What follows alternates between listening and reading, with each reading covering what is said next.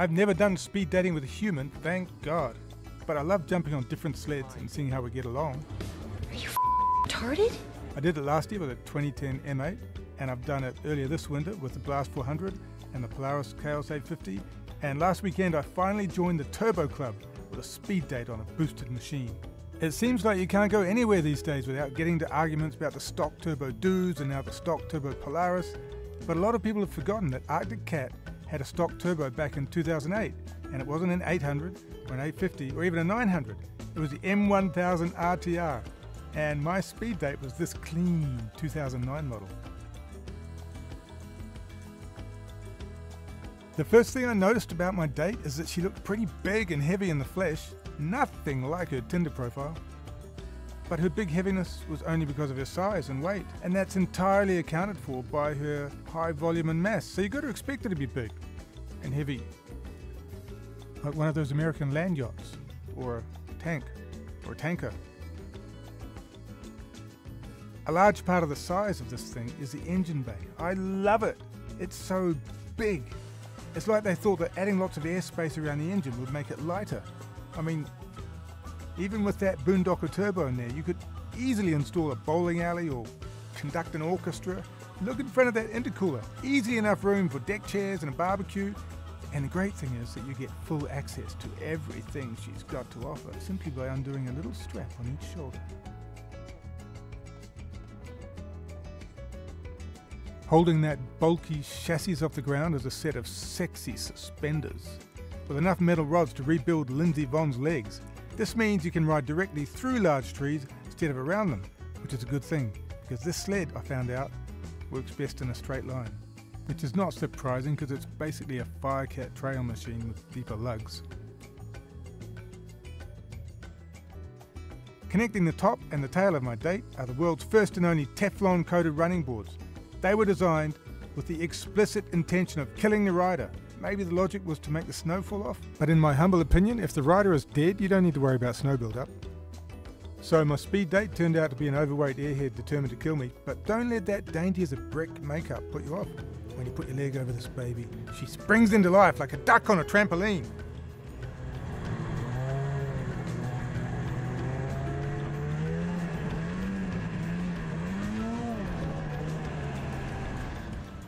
Until you try to cover turn, the RTR 1000 Turbo is a 162, which refers, I'm pretty sure, to the width of the ski stance, not the length of the track. This means that asking your lady friend to lie on her side is like getting a rhinoceros to ride a bicycle. It's not impossible, but it would be much easier on the moon. Still, like any good sled, it starts to flow when you get the skis off the snow and steer with the tail.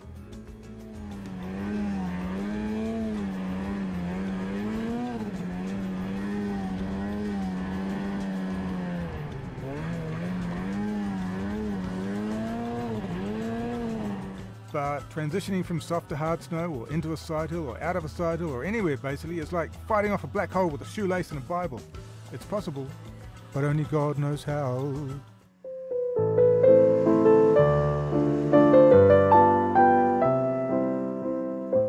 Now, I should tell you that the setting for my date was not ideal for romance. The snow was hard, and although it had released a bit during the day, it was now setting up hard again. I also need you to know that I lost the first 15 minutes of video because my stupid, goat gargling, rhubarb rooting, fish tank felching GoPro lost its mind. So most of the riding you see here is second time around when both my elbow joints already ruptured and my ribcage felt like Angry Ram's punching bag.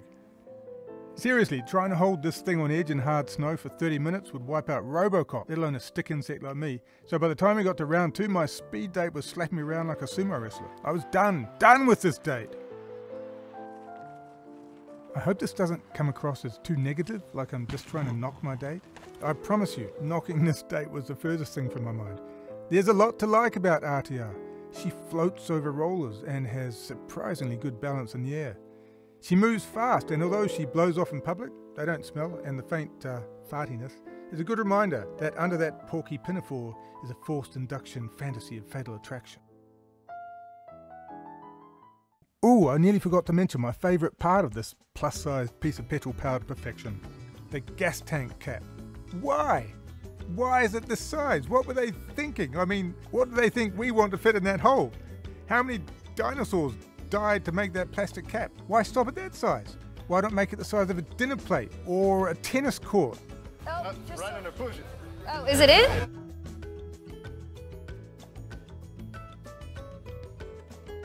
Anyway, this is a speed date and my time is up, so I better hand in my scorecard. To cut to the chase, I would not want this to be the only sled in my bed.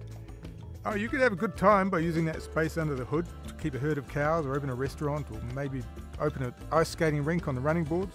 But frankly, I'd rather have a Blast 400 or a Doo 600 or a Yamaha Phazer 480 or an Alpha Hawk or a Khaos 850 or to be honest, pretty much anything. And for comparison, when I speed dated the 2010 M8 last year, I said I'd happily ride it all winter because it felt like a real mountain sled and I'd be able to do pretty much anything on it so long as I asked nicely. Can't say the same for this young turbo. So, merci beaucoup, Madame Mille Turbo Compresseur. Arigato gozaimashita. I had fun tonight. I really did. So let's just be friends, okay?